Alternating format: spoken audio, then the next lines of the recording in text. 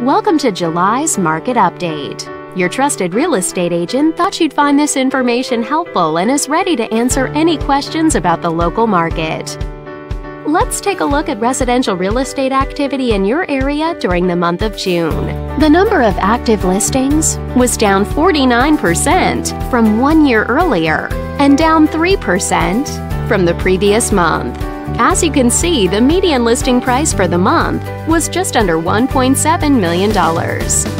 Compared to last year, the average number of days units spent on the market before being sold was up 63%. This higher number of days may signal a slowdown in the local inventory turnover rate.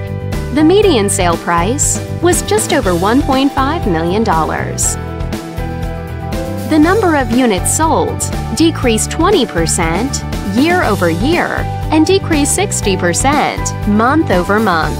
Fewer sales could indicate an opportunity for buyers to negotiate better terms. Thanks for watching. We hope you found this video helpful as you gather more information to make smart, informed real estate decisions. If you'd like more information or assistance, please click the button on the screen.